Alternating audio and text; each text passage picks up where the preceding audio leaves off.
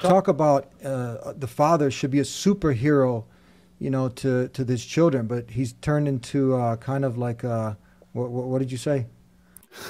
Yeah, I mean, but because my father was a superhero, right? I was raised in a way in which I really viewed my father as a superhero, but that was also based on the fact that he did not submit to the will of my mother, right? If you have a man who's scared of his wife, can he truly be a superhero in any regard? And that's a question. I don't know. Uh, I don't think so. I can't imagine a man who's scared of his wife acting like a superhero because women have completely different life goals and instincts to men. This is something that most people forget and don't understand. I have it all the time. I get a, a chick or whatever, and she says, I wish you didn't work so much. Why are you always busy? Why are you always working? The fact that I'm always busy and always working is the reason you were attracted to me in the first place. But now that you have me, you're going to pretend I shouldn't be doing those things. You're going to try and change me. Now you want me to stop working, right?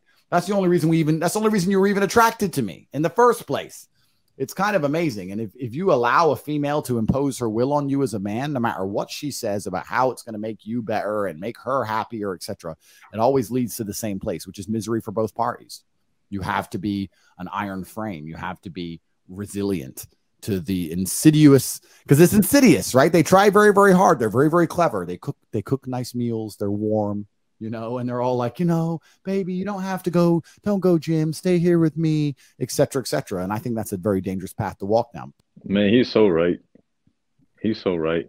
Like when we're in this relationship, when we're talking with someone like this, like Listen, it's feminine. It's the feminine energy. It's the femininity. Like this, it's mm. soft.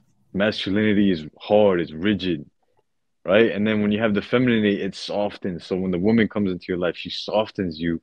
But it's like you have to be really careful as a man because if you become too soft, well, then that just breaks up the whole dynamic. It ruins everything. And you know, the question that he he rose, he, he brought up is very it's a legitimate question. And I think the answer to that is very obvious.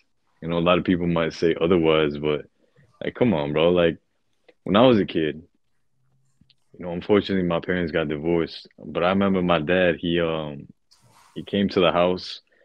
He had come from Puerto Rico to visit, and um he gave me one of those like little the little toy, uh, the toy thingies, the, the toy guns, which makes a little like just noise. You put like this like thing in there and it makes the pop, like pop, pop. And there's nothing that comes out, just makes a pop. And my dad was like, listen, don't tell your mom about this. Don't show her. Just when you go outside to play with your friends, you can play with it, you know, but like don't show her.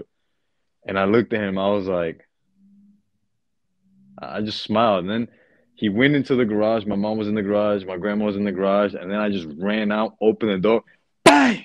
closed the door and ran back in, bro. And like my mom came screaming. She took the little thing away, the toy, and then my dad was like, "Bro, like I told you not to tell her." And it's like just looking back, just reflecting on that, like he was scared of her. He was scared of like her being angry and like saying all this stuff, and it's like I don't know, maybe that did affect me as a kid. You know, Bro, so. to some extent, here's the thing: you wanna, you never want to be so far up your ass that you're not open to feedback and constructive criticism, even if it's from your wife. So for things like Islamic matters, bro, the Deen, that's a different story, right? We're talking about Andrew Tate is talking about the the wife that says jump and the husband's like how high? You know what i mean? The one that mm-hmm. he doesn't have any backbone where she's just testing him bro saying stuff like oh you don't need to go to the gym. You could just stay here. You don't have to work so much. It's like nah bro. She's saying that because that's how she feels in the moment but she doesn't have the foresight to see that if you don't have that where's the resources? If you don't have that where's his mission? Where's his purpose in life? Mm. yeah yeah 100% in islam the men are supposed to be the leaders and the protector and the provider. These are three very very important things and not just in islam generally but to masculinity in general to manhood in general. Can you be a man in islam if you're not providing for your family? That's one of your your obligations you're not fulfilling. Can you be a man in islam if you're not protecting your family? That's another right that's an uh, upon your family. That's an obligation in Islam. Can you be a man without these things? I would say no, because these are obligations God gave us as men because of the way He created us. And if you are not fulfilling them, if you are not being the leader of your house as you ought to be, as Allah subhanahu wa ta'ala commanded the men to be, then you are lacking. And that's something you need to work on. And on top of that, what happens is your wife has to be the leader. She has to end up being the leader. Because if you have kids, someone needs to take care of them. Someone needs to lead the house. Someone needs to be constructive and, and you know, guide the household. And if that's not you, then she has to take it on, unfortunately. And then you become a follower of her. And Islamically, it's supposed to be the opposite way around. And you'll mm-hmm. see it as a man with your wife. As soon as you take control, not in the way where you're just power hungry, a tyrant to go do this, go do that, go cook for me, make this, in, in the way where you're a leader. You can be kind hearted, you can be strong, you can be firm, and be a good leader all at the same time. She will respect that. Your kids will respect that. They will appreciate that. And they will actually learn from you how to be a leader in their own circles, in their own life.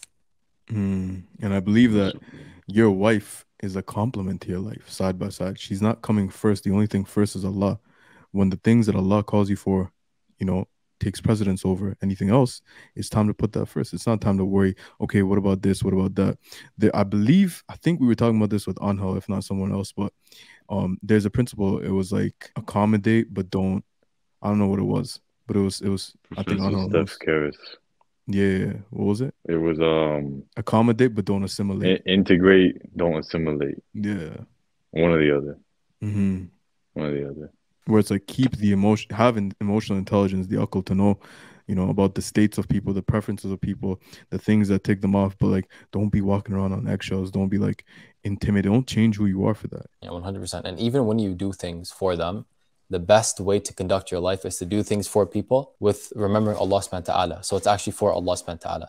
Like if you go and you, you know, you help your wife with the dishes or something, yeah, you're doing it to make things easier for her. But if the first reason you're doing it is for Allah subhanahu wa ta'ala, to please Allah, because you know, pleasing your wife is also a form of pleasing Allah subhanahu wa ta'ala, and pleasing your husband is a form of pleasing Allah subhanahu wa ta'ala, then that's the best way to live. Man, it reminds me of um you can cut this out, but I just want to share this with y'all. It reminds me of like this thing that I hear a lot of the the scholars, or not the scholars, but particular people saying, and they're like, "Oh, you." And not just that, but like you have to put your wife first. You have to put your wife first. I'm like, oh, that's that's like that's real dangerous advice that you're giving people.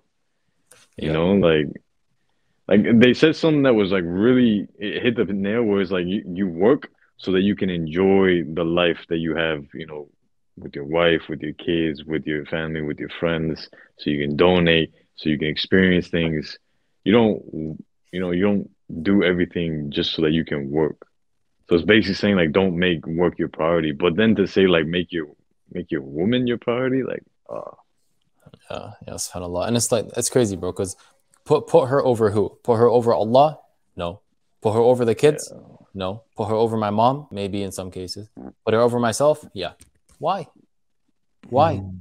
Why like why can't I just be wise? Like if putting my wife above myself is going to like harm me. And that uh, it might sound crazy, but it will. In some cases, putting your wife above you will harm you. Because if she wants you to go uh, do 11 errands after you just worked like 12 hours, it's going to kill you. Sometimes you need to put things aside, take care of yourself so you can get back on track and do what you need to do Mm. And, and mm-hmm. that's okay. But the point is, you have to be wise about it. That's a part of being a leader. So, Anhel, bro, you're mm. right, man. You put anyone first, then you basically worship them. So you put Allah subhanahu wa ta'ala first. You know, I have an amana here, I have an amana there, I have an amana back there, I have a amana over here, and I have a amana right here with myself. I have to take care of myself as well. And that's the best way, inshallah. Alhamdulillah, let's wrap it up. With that being said, اللهم آتنا في الدنيا حسنة وفي الآخرة حسنة وقنا عذاب النار السلام عليكم ورحمة الله وبركاته. وعليكم السلام.